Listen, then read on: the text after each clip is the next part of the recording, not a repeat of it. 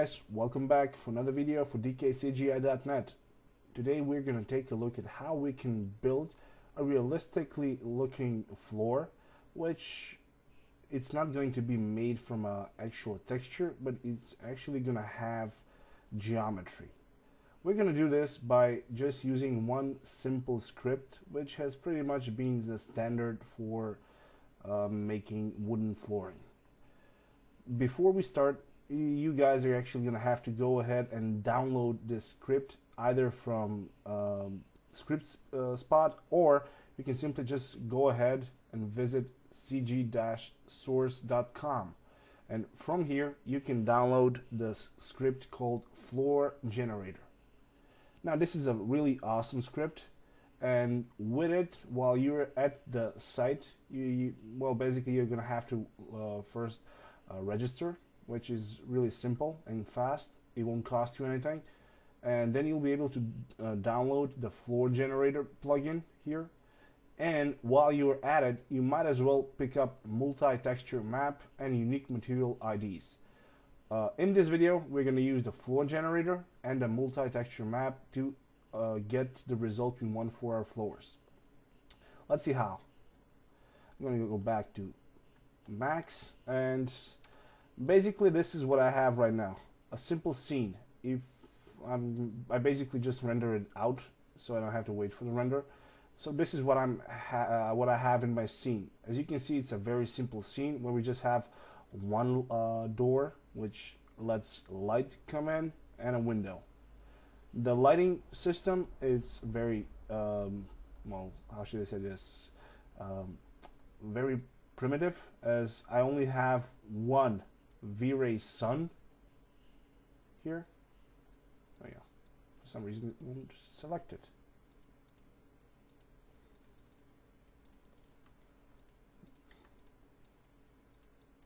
Well, one sun, and then I have a few. Why isn't it? There we go. I have one V-Ray sun which ha uh, has been enabled and I have 24 subdivisions for the shadow so I get a better um, shadow cast or actually uh, better quality in the shadows. And I have two lights here. There we go. Two lights which are just V-ray lights that have been positioned at the edges of the window and the door and they've been converted into skylight portals so the light knows how to behave better uh, other than that, the entire scene is simply a gray material, uh, and the floor, as you can see, it's a great material. So, let's see how we can go ahead and from this make a really nice floor that we can use for this scene. First things first, the way that uh, the floor generator works is you have to activate it first. The easiest way would be just go ahead once you've downloaded the file, just drag and drop it inside 3ds Max. It should right away open up a window like this. Now, the way the floor generator works is it makes geometry from a spline. So basically what I have to do right now is go ahead and simply make a spline from my walls. So I'm going to select my walls right here. I'm going to isolate them by pressing Alt Q. There we go. And now I'm going to go ahead and select my border. Uh, with it, I can select the entire uh, lower border and click on the Create Shape from Selection button when here I gotta make you guys have to make sure that you press the linear shape type because if you go with smooth all the end parts or all the corners are gonna be smooth and that's not something you want. So go ahead make it linear and name it board base or whatever you want to name it and press OK with this we have made one spline over here. There we go. So the spline is where the wall is. Now, here is how the actual plugin works. You have to have the uh, board spline selected and now with it selected you just press the create button in the floor generator right away you're gonna notice that you're actually have some geometry in your scene. Right now the size is kind of too big because these boards or planks are simply ginormous. So we want to make them smaller. The way this works is at the first thing you can choose is the size. So instead of having a 1000 length, I can make it smaller with let's say 90 and the width instead of 70 I'm going to drop it down to 20. Now here's the funny thing. We actually changed some of the values but nothing really happened in the viewport. Why? Well it's quite easy because as you can see right here underneath the create button we have an update button and by pressing it it's going to update it with all the changes you've made in the parameters so in case you want to have real-time ch uh, change log you just have to press this interactive update so now whenever I change something let's say make it smaller it changes right away. We can see the change. So I'm going to bring it back to 90. And there we go. Now we're getting so somewhere. Okay, the next thing uh, we can see right here is these L buttons that are kind of pressed.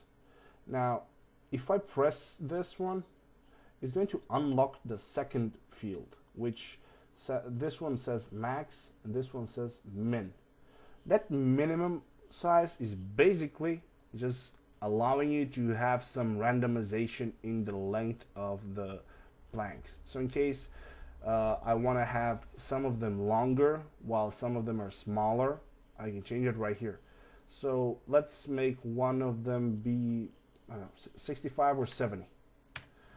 This way, right away, I can see that some of the planks are kind of bigger, some are smaller. If I'm going to make it more visible. I'm going to make this one bigger and there we go. Now, if I zoom in uh, closer, you're going to notice another thing. Uh, the edges of the planks kind of have a little bit of a bevel on them. So if you go at the last mm, part where you can change some of the parameters, you're going to see that we have a bevel and an extrude here. The extrude is basically telling you how tall or how short the extrude is going to be. So let's leave it at 1. But the bevel, on the other hand, you can change it. So let's say 0.2 would mean that we have a smaller bevel. The bevels are very good uh, because they kind of have a tendency to hold light. So when light kind of bounces off them, it looks better. And it looks more realistic as we have some light going in the crevices between two boards. And while we're talking about the crevices or the gaps, we can even control that. As you can see, this gap length is basically telling you exactly that. If I put it at 1, we're to have a much bigger gap between all the planks, which in some cases might be what you want to do.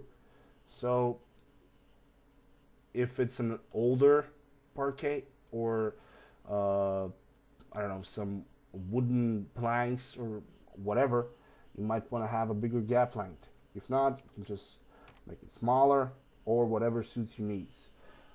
Also we can have some variation in the width. So if let's say at least one is 20 the other one is 10 we can have some variation in the width also. And the spread is basically telling you which is going to take into account more the minimum or the maximum. At 50 it's mixing it up at 50% uh, let's say if we put it down at 20 we're going to get a lot more uh, smaller or 10 uh, minimum width planks instead of the maximum strength so I'm going to put it back to 05 and get an even distribution. Now, the next thing we can have here is variation per board. So this basically is going to allow you to rotate or offset or even tilt some of the boards. For example, if I increase the tilt, you can see that the boards start kind of moving upwards.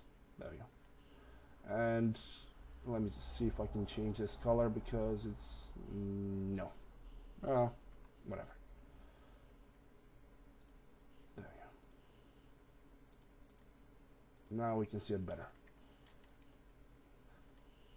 So with the tilt, we can kind of tilt the floors, the floor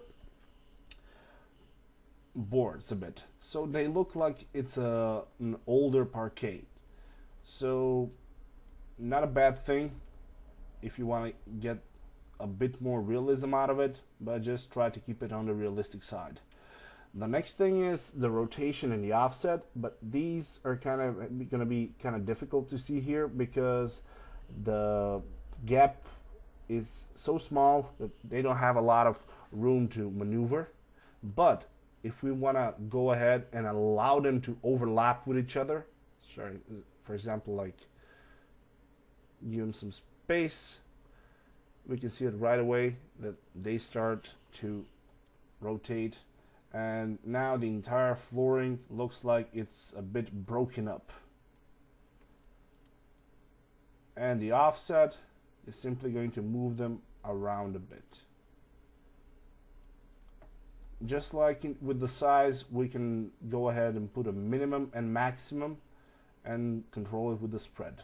But for this I'm just gonna uh, zero it out. I want to tilt I don't want it to do anything.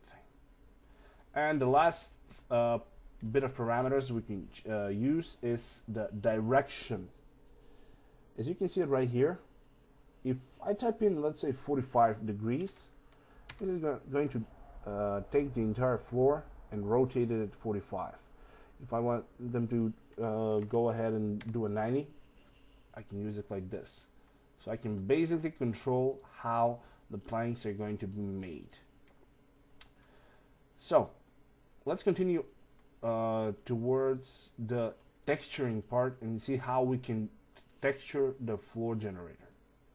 I'm going to turn off the file right here. And now I'm gonna go in the material editor. In here I'm gonna take oh let me just clear it up.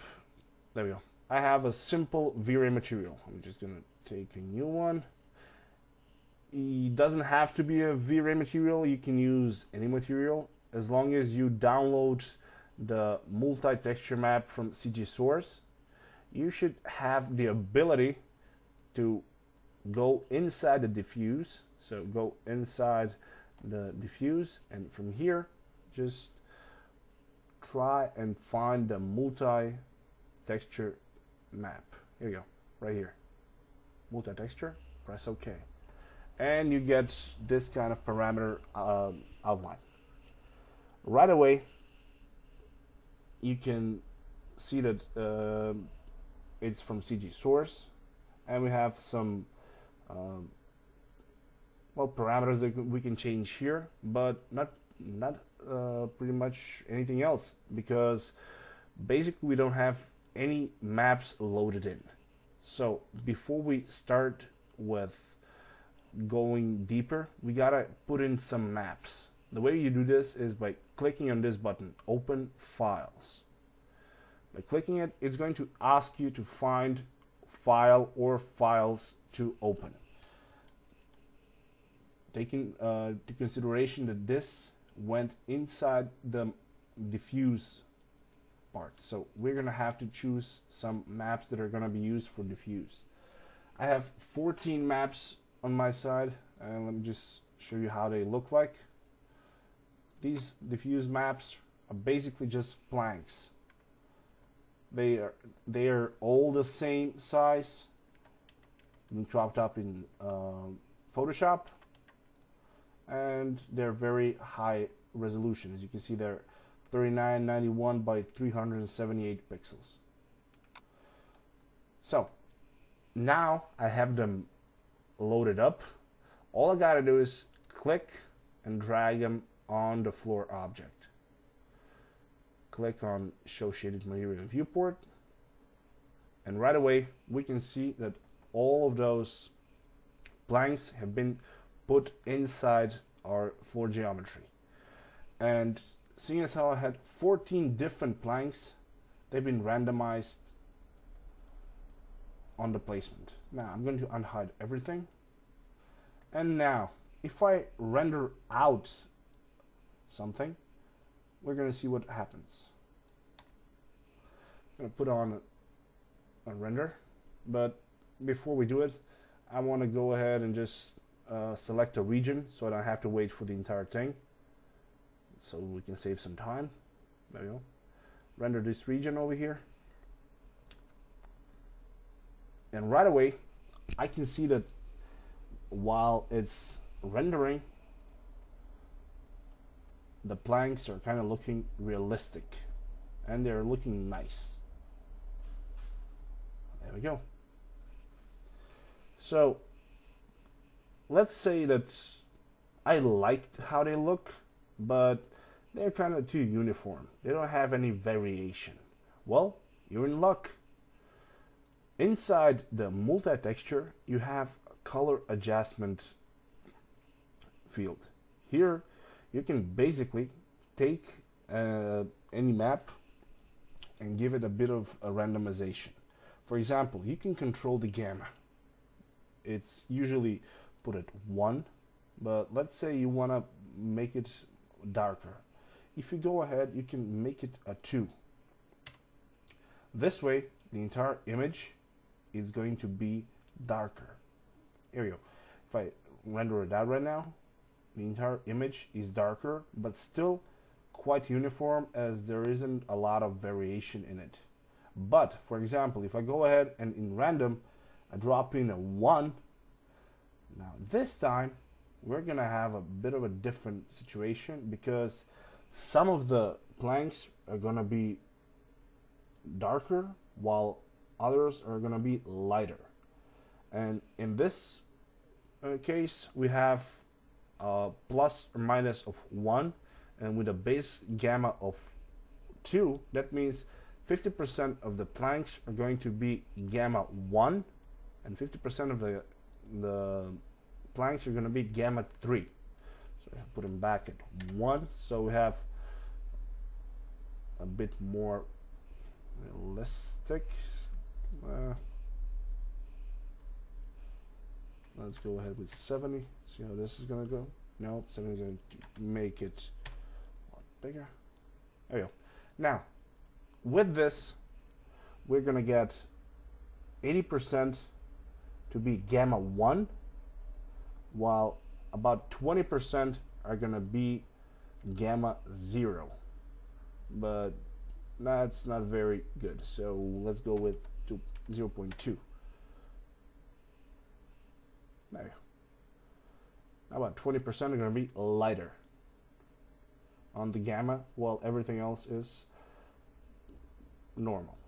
Now once we have this fixed up it doesn't stop here.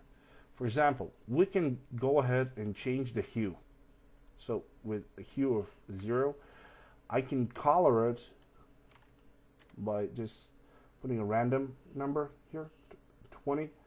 And now some of the planks are going to be colored. As you can see, some are actually greener, some are green, uh, reddish, other ones are yellow.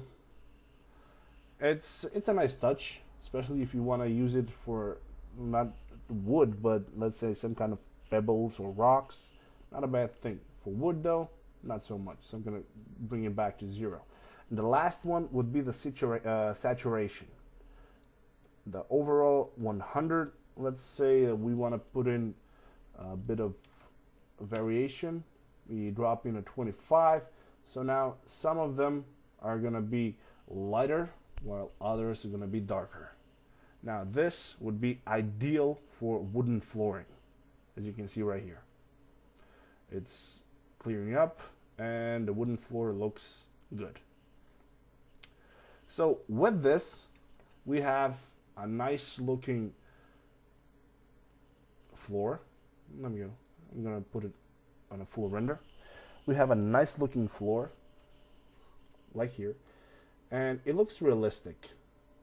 And the best thing is that this is not a texture, but it's rather geometry. So even if you want to use it for simulation or anything that you might think of, it would be a good match. Right.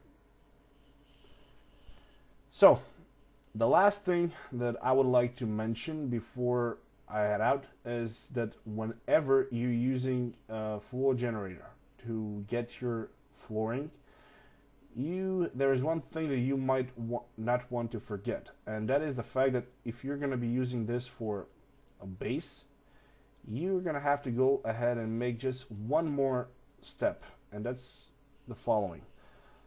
Let me just rotate it a bit down, and that is to select the line. So select the spline that we use to make the floor, and from it, just drop in an extrude modifier.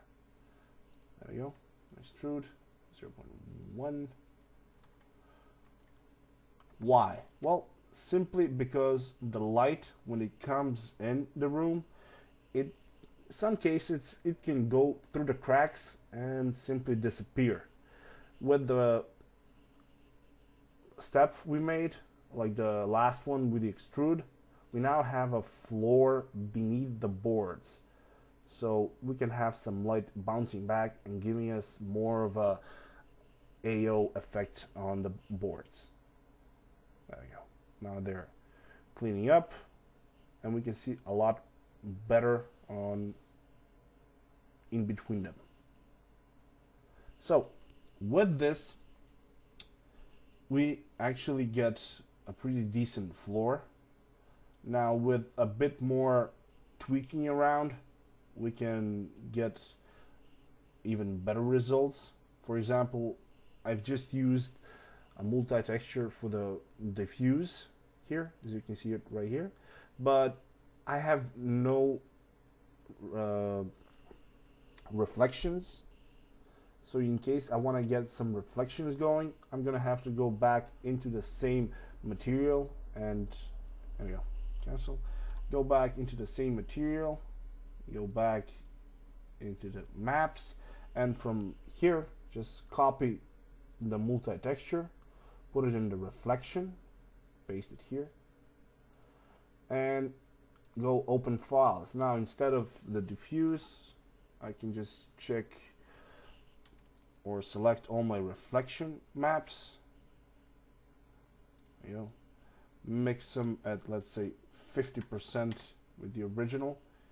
And now, if I render it out, I should get a pretty nice reflective surface. But with like with old things, whenever you add reflection, it's going to take a bit more time to do it. There we go. It's reflecting is rather nice. Oh yeah, and one last thing would be you don't forget to turn on the Fresnel reflections because if you don't, it's basically going to make it uh, look like a freaking glass. There we go. Now with it, we can get some nice reflections.